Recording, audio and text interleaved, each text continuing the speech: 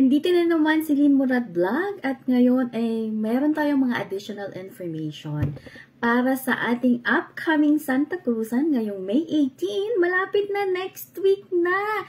Excited na ba kayong lahat? Kasi ako naka-ready na oh. Rena ng mga murat. May corona ako, ang ganda, di ba? Anyway, ito lang po ay mga additional information natin na dapat nating malaman sa Santa Cruzan natin sa Eltman dito sa Germany. At syempre, para dun sa mga reyna, ready na ba kayo?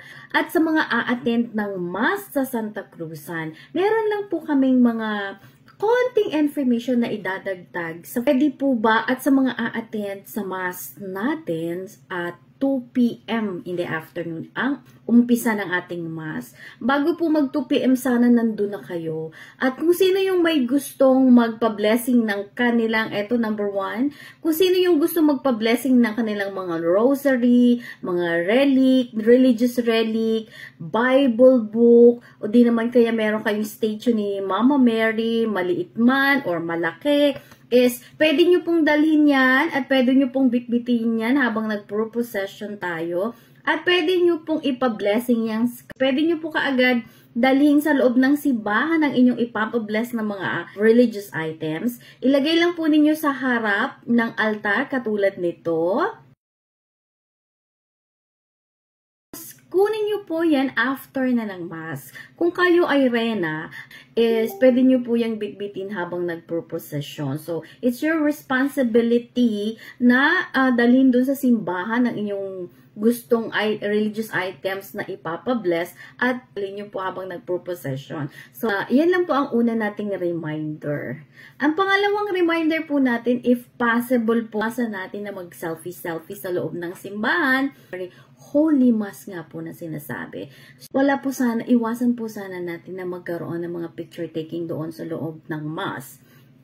Pwede po tayo mag-picture taking sa labas ng simbahan habang wala pa yung mass. At sabi ko sa grupo na ako na lang ang picture sa ating lahat at saka mag-short videos para isang tao lang yung gagalaw doon, lalo na sa mga reyna.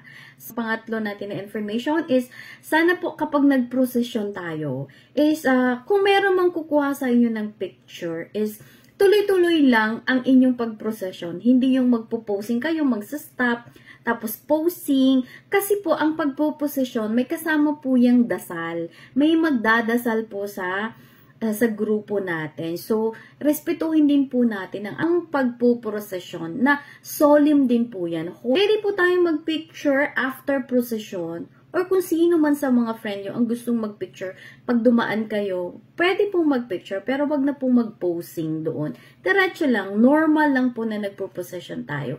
So, pwede po kayo mag-picture taking doon sa hale, sa party, sa labas ng hale, sa labas ng simbahan. Alright, wala pong bawal na mag-take picture. Bigyan lang natin ng pagkakataon ang ating Holy Mass at ang procession na sana respetuhin natin na walang masyadong selfie-selfie at picture taken and posing. Kasi hindi naman po yan pang Miss Universe. Of course, ang ating beauty is pang Miss Universe, kahit sino. Pero ito po ay ating and faith para kay God. At ang uh, pang-apat po natin na reminder is uh, pagpasok po natin ng simbahan, kung gusto nyong uh, kumanta, meron pa akong listahan na ibibigay ngayon dito sa video na ito kung ano po yung mga kakantahin natin sa church. Ito, i-attach ko dito yung mga tono lang kung gusto nyong sumabay sa pagkanta. At meron tayong uh, yung choir na galing sa Eltman. So, kakanta din po yan sila. So, sasabayan po natin ng pagkanta.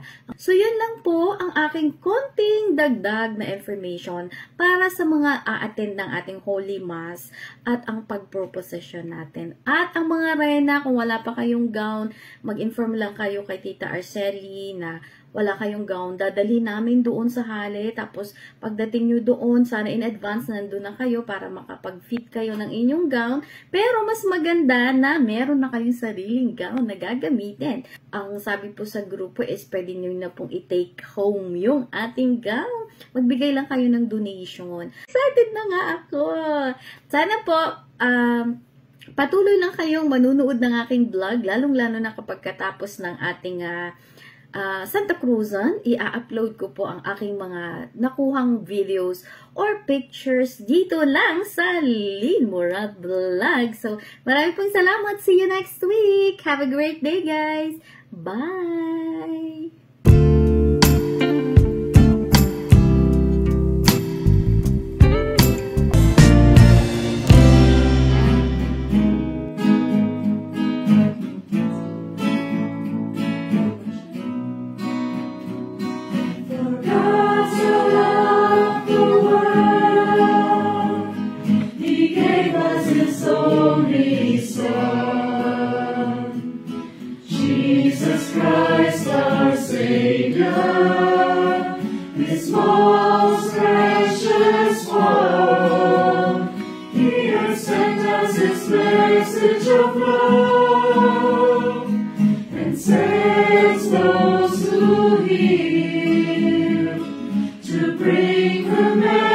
Christian air.